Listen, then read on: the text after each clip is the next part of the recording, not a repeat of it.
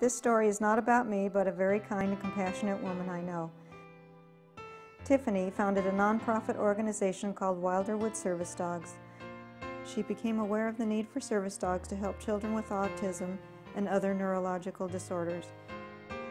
She started this organization on a shoestring budget and has helped so many children cope with the debilitating disorder of autism by having a canine companion to help them in their daily lives. Wilderwood depends on the kindness of the community to keep them going. Tiffany, a psychiatric nurse by trade, has devoted her life to helping children, and I feel she deserves to be recognized for her contribution to families in need. Children who were nonverbal and withdrawn find comfort with their new canine companion and oftentimes begin to speak and socially interact. I know what dogs are capable of doing in people's lives. Tiffany's caring shows up in everything she does. From the very start, I knew Tiffany had something about her that was going to be big.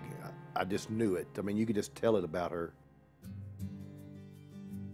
She has a real heart for these kids uh, with neurological challenges and with autism. The human-animal bond is the thing that drives uh, the services that she provides. She has an amazing ability of matching these dogs with the families and with the children. When I see a dog and a child, you know, working together and communicating and petting and nuzzling and, you know, working out their, their complications with each other, it's, it's a difference that you can't find anywhere else in any other kind of therapy. She is very, very knowledgeable on dog training and also nursing. So she knows what's required as far as the dogs go and as far as the, the patients and the children go. It's a profound and deep level of communication that most of us won't understand because it's just between the child and the dog. It's beautiful.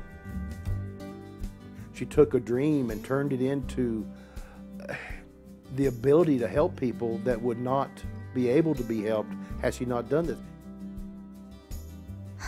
I want more dogs with more families than, than we could possibly do. You know, I want this idea to catch on. I want, I want this idea to grow.